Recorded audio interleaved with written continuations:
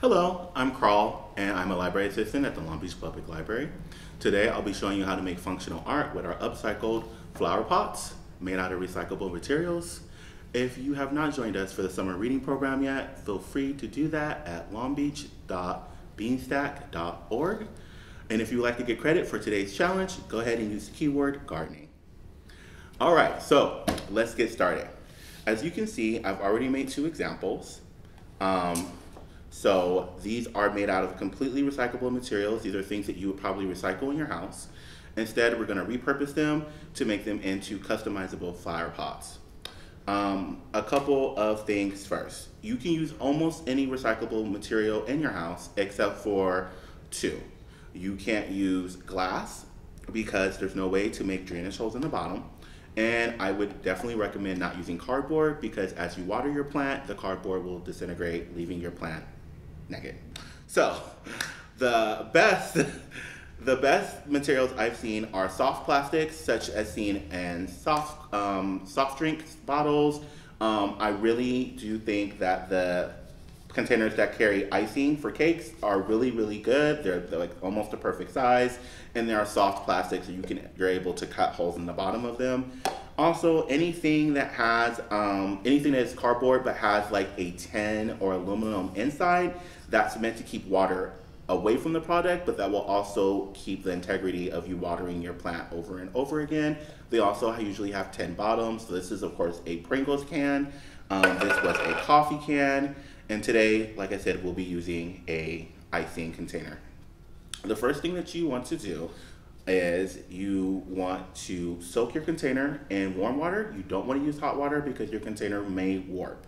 So you want to soak your container in warm water and what that allows you to do is just to simply take off your label. And again, we're going to be using materials to cover that up so you don't have to get it completely clean. You just have to be able to remove most of the labels. Speaking of materials, here is what you're gonna need for this project. You're going to need a plant. You're going to need potting soil. You're going to need Mod Podge. And you need an applicator for your Mod Podge. Um, I'm using this brush, but if you don't have it, you can use any other brush in your house. You can use a kitchen knife, or you can use um, a makeup applicator. You can use whatever you have. You're going to need some type of recyclable material, either a comic book or a old newspaper, or you can draw something, you can paint something, something to make this yours to decorate it with. Um, I, for today, am making this for a friend who really loves the Sabrina series on Netflix. So we are making a Sabrina themed pot for her. So we'll be using that. Optional are glitter, paints, or any other materials you want to add. I also would recommend a strip of construction paper to go around your pot at the end and that sort of makes it a distinction. It turns it from just a pot covered in pictures to more of a flower pot aesthetic. The first thing you want to do is you want to put drainage holes into the bottom of your pot. So the way we're going to do this is we're going to hold our pot like this away from us. We're going to open our scissors. We're going to gently place our scissors against the end of our pot making sure we're watching, and we're going to twist in this motion, applying gentle pressure. You're doing this A for safety, but B, you're also doing this so the holes you make aren't too large. You don't want soil coming out the bottom, and you don't want that when you water your plant, you don't want, you want everything to be washed out with it.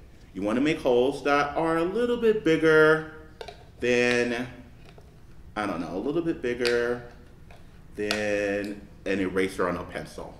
So you want to be able to sort of see through it, but not really. And you want to make maybe around three of these. If you start doing this project with your chosen container and you find that you're having a really hard time getting these holes into the bottom of your container, I would say switch the container.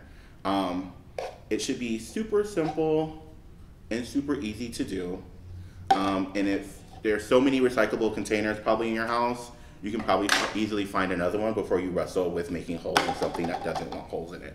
We're going to pick one of our comic book panels, and I like to choose one to sort of be in the middle um, and then work from there out. So I choose it, I place it. You want to start at the very top And if your panels are a little short, that's fine because you're gonna put that red strip of paper at the bottom or whatever strip of paper you choose at the bottom. Um, but you don't want them to be too long like this one is. So what I'm going to do is I'm going to take this and I'm going to give it a snip.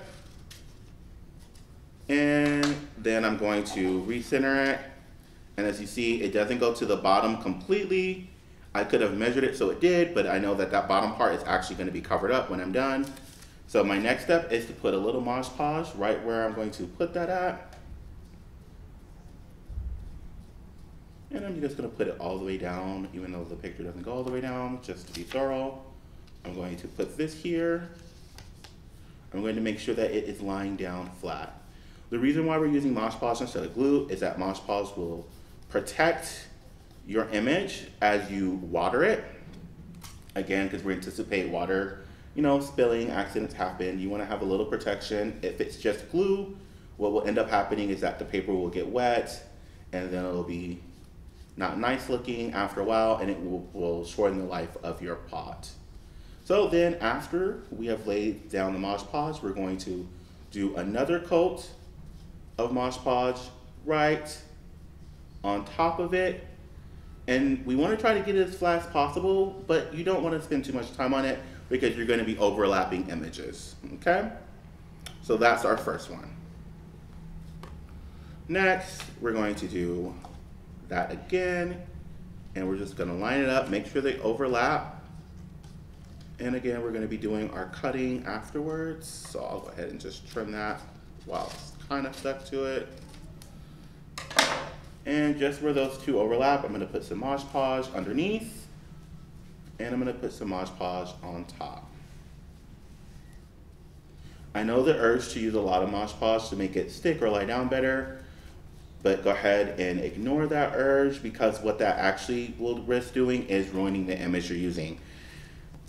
So as you see, I'm using pretty big panels because I didn't want to take too long with my example for you guys, but feel free to use, you can add a lot of pictures, you can have, like the Beyonce one is pretty much just one long Ivy Park ad, and then a picture of Beyonce I printed out from the internet, and you know that was pretty simple to do but if you want to make more complex ones this catwoman example is actually individual panels from her comic book and that one took a little bit longer because it's more like a collage of images um, if you get any stubborn pieces like this one little piece that won't stick down you might consider adding another semi smaller image over it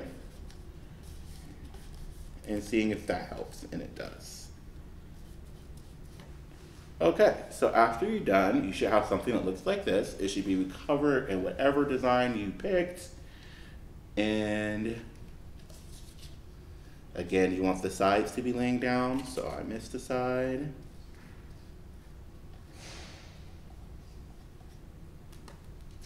Okay, perfect.